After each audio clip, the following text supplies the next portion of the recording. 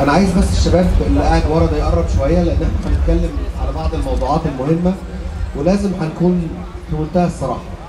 إحنا عندنا مشكلة كبيرة جدا وحقيقيه في مصر.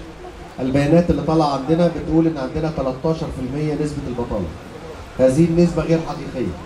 نحن ليس لدينا بطالة في مصر اطلاقا. نحن لدينا وظائف كثيرة جدا في مصر مش لاقي يا شباب يشتغل فيها. ولدينا شباب كتير جدا موجود في مصر مش لاقي الشغلانة اللي هو عايز يشتغل فيها. فاحنا عندنا المشكلة دي. مش عارفين نحل المشكلة دي إزاي. وكل الوزارات وكل الهيئات وكل الناس اللي موجودة غرف تجارية أصحاب مصانع أصحاب رجال أعمال مش عارفين يحلوا هذه المشكلة.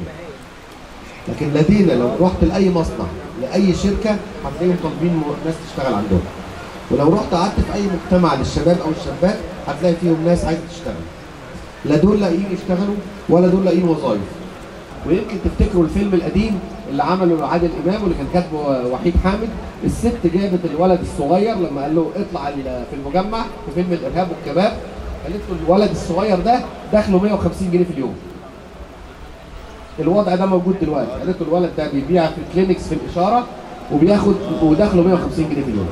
أصبح عندنا بعض المهن اللي بيمتهنها بعض الشباب بقى يجيب لهم دخل أكتر من الدخل لو راح مصنع ينتج. فبالتالي ما بقاش متخيل في بعض الأولاد عندهم 12 و15 سنة بيشتغلوا في بعض محلات البقالة وفي الصيدليات وفي الحاجات دي بيوصل الطلبات في المنازل. البقشيش بتاعه في اليوم بيعدي ال 50 جنيه وبيساوي ويوصل أحيانا ل 100 جنيه.